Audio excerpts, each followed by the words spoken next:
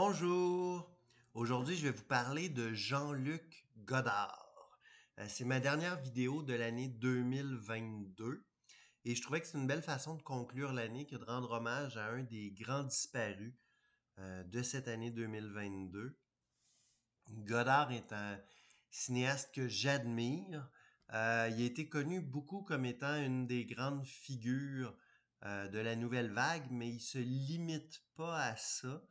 On parle d'une œuvre qui fait euh, plus d'un demi-siècle. Euh, c'est plus d'une cinquantaine de films. Euh, je faisais le calcul avant la vidéo. J'ai vu pratiquement la moitié de ces films. Alors quand on, on regarde l'œuvre de Godard, c'est très étonnant parce que c'est une œuvre qui esthétiquement se sépare en trois temps et ces trois temps correspondent exactement à ces trois euh, mariages. Donc, le premier Godard, c'est le Godard de la nouvelle vague. Donc, euh, vous avez ici un, coffret avec les euh, principaux films de cette période-là. Et puis, c'est la période où il va se marier avec Anna Karina, qui va être une actrice importante dans ses films, qui a joué aussi dans d'autres films. Euh, une autre figure importante du cinéma euh, des années 60. le cinéma de la nouvelle vague est un cinéma qui part beaucoup des textes. Ce sont essentiellement des critiques de cinéma qui travaillaient avec les cahiers du cinéma. J'ai ici les, les écrits en deux tomes de, de Godard au, cahier du cinéma. C'est un plaisir autant que ces films euh, de le lire. Ça fait que la nouvelle vague est très différente de ce qu'on va connaître au Québec comme le cinéma direct euh, de l'ONF, parce que les deux se passent en même temps et les deux vont changer euh, les codes du cinéma de leur époque, mais d'un point de vue très différent, parce que les cinéastes de l'ONF euh, ne sont pas des critiques de cinéma, ce sont pas d'abord des gens qui écrivent et qui après font du cinéma, ce sont euh, des techniciens, donc des gens qui sont euh, spécialisés dans le montage, dans la prise de son, la prise d'image, et c'est de cet aspect technique-là que leur révolution va se faire, alors que en France, c'est vraiment par la plume que euh, se fait la révolution de la nouvelle vague. Les films de la nouvelle vague sont les euh, plus connus euh, de Godard. À bout de qui est son premier, et malheureusement un peu L'arbre qui cache la forêt. c'est, à mon sens, pas son meilleur, même pas de, près ou de loin. C'est, au milieu dans la liste de ces films mais comme c'était la première fois que les gens voyaient un film comme ça, ça a eu un effet choc et les gens sont un peu restés accrochés à ce film-là. Mais si on pense à la période Nouvelle Vague, il y a d'autres films euh, que je trouve euh, vraiment meilleurs. Bande à part, euh, Vivre sa vie, Le mépris, des films magnifiques qui valent la peine encore aujourd'hui d'être vus. Ça, c'est le premier Godard. Il va y avoir un deuxième Godard euh, au fin milieu des années 60 qu'on peut appeler le Godard euh, maoïste. Donc un Godard beaucoup plus politique qui va essayer de défaire l'aspect séduction euh, du cinéma. ça correspond à sa liaison avec l'écrivaine Anne Wiazemski. Donc, il est passé relation avec une actrice à une relation avec une écrivaine. Et il est passé euh, du cinéma de la nouvelle vague à un cinéma plus euh, politique. J'ai d'ailleurs un, un, autre coffret ici, Godard politique. Puis il y a le film que j'aime beaucoup aussi, Tout va bien. Si vous avez une chance, un autre film qui vaut la peine d'être vu. il va utiliser ce que Bertolt Brecht appelait la distanciation. C'est-à-dire, il va rappeler constamment au spectateur le médium qu'il est en train d'utiliser. La scène d'ouverture de Tout va bien est un excellent exemple de ça, où on entend une voix off d'une femme qui dit qu'est-ce que ça prend pour faire un film et là on voit défiler des chèques sur lesquels euh, sont données toutes les euh, toutes les bases de ce que ça prend pour faire un film. Donc, euh, une histoire d'amour, des grandes vedettes de cinéma. Il y a, beaucoup d'ironie dans cette scène d'ouverture. Tout va bien est un peu le film qui va, conclure cette période-là, qui va s'ouvrir avec La Chinoise, un autre film très bon.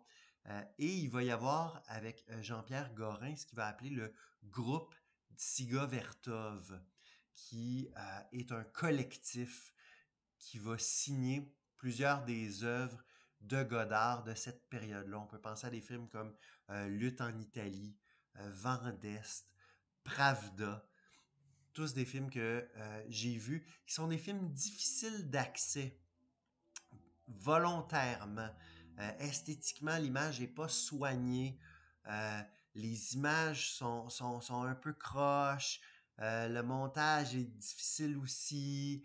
Euh, il y a des moments où on a l'impression d'avoir du cinéma presque amateur, mais c'est voulu parce que on essaye de défaire justement l'aspect léché euh, qui est le cinéma hollywoodien. cette période-là tombe pile avec euh, les révoltes de mai 68 en France, mais aussi de façon plus large avec l'ensemble des révoltes de la fin euh, des années 60 et du début des années 70, un peu partout en Occident. Euh, on peut penser au mouvement des Black Panthers aux États-Unis, au mouvement du Front de libération du Québec ici. il va y avoir un peu partout à travers le monde, en Afrique, en Asie, des mouvements, des soulèvements. Et cette œuvre-là s'inscrit dans cette période-là. Mais ce que j'admire beaucoup de Godard, c'est lorsque cette période-là s'éteint et que tous ceux qui se voulaient révolutionnaires vont tranquillement rentrer dans les rangs en se trouvant un emploi euh, chez Gallimard ou chez Gaumont et qui vont vouloir euh, tout à coup se placer les pieds. Euh, Godard va devenir je dirais, violemment hermétique. Il va pas chercher à faire du cinéma plus acceptable et cette hostile euh, volonté d'art va le mener dans sa troisième partie. Euh, la troisième partie de son œuvre qu'on pourrait appeler euh, sa partie hermétique justement, qui correspond à sa relation avec euh, Anne-Marie Miéville, qui, elle, est cinéaste. Euh, donc, encore une fois, il y a un changement de femme. Cette femme-là, encore là, il y a un changement de métier. Euh, cette période-là est la période la plus longue de sa vie. Elle, va durer du milieu des années 70 jusqu'à sa mort. ce sont les films malheureusement les moins vus de Godard, mais encore une fois qui valent la peine. Il y a un beau coffret qui existe ici, euh, dans lequel il y a entre autres Prénom Carmen, euh, qui est un film magnifique. Il y a Passion, qui est un film dont on ne parle pas suffisamment. Euh, dans cette période-là, il va aussi faire Histoire du cinéma, qui, moi, est mon œuvre préférée de Godard. Et c'est une œuvre qu'il n'a pas filmée. Il a pris des archives de, d'autres films et il a fait un montage en mettant une voix off. Euh, c'est un film qui dit son amour du cinéma. Euh, c'est un amour pessimiste. Il regrette un peu que cette aventure-là euh, se termine. Pour lui, le, le cinéma s'apprête à mourir. On peut être d'accord ou pas, mais il reste que Histoire du cinéma est un très grand film. Et euh, toute cette période-là où euh, ce qui est mis de l'avant est putain le discours politique, c'est pas non plus euh, les histoires un peu déconstruites de la nouvelle vague, mais on a l'impression que ce qui domine le cinéma de la troisième période, c'est un lien avec la peinture. Il y a, surtout quand on pense à un film comme Passion, il y a un amour de la peinture où on a droit à des plans fixes et euh, des images composées avec soin. Euh, il va y avoir aussi, euh, il va défaire la notion de, de personnage, de scénario, et on a l'impression qu'on a juste des, des petites scénettes comme on en croise justement dans des tableaux baroques ou dans des tableaux classiques. Donc, on, on, revient à ça et il va vraiment travailler son métier. ça, va, ça va durer jusqu'à sa mort. moi, j'ai vu un film Socialisme qui date de 2000, les années 2010. Je ne saurais pas dire la date précisément. son dernier livre, le livre d'images, c'est un peu le, même souhait. un des cadeaux que j'ai eu dans ma vie, euh, c'est ma conjointe euh, qui a dit euh, ce soir je garde les enfants, je te libère de la soirée et il présentait Adieu au langage au Festival du cinéma de la ville de Québec qui est son film en trois dimensions. Donc j'ai vu le film 3D de Godard dans une salle de cinéma avec des lunettes 3D. quelque chose qui est souvent vu comme un gadget au cinéma et j'étais sorti de ce film avec l'impression qu'il était possible, avec la 3D, de faire des œuvres d'art. On n'a pas seulement le euh, cinéma de divertissement qui peut utiliser la 3D. Euh, l'art y a droit aussi. Donc l'œuvre de Godard, au-dessus de 50 ans, au-dessus de 50 films. Euh, toutes les périodes sont bonnes. Moi, je vous suggère de vraiment visiter les trois pour comprendre une démarche, parce que Godard, c'est ça aussi, c'est une démarche. On a l'impression de quelqu'un qui réfléchit en filmant. Euh, quand on lit ses entretiens, qu'on lit ses articles, ses scénarios de films, c'est la même chose. Euh, moi, j'avais acheté en papier un film socialiste qui est composé énormément de, de citations, mais il y a des coupures aussi avec des images. Donc,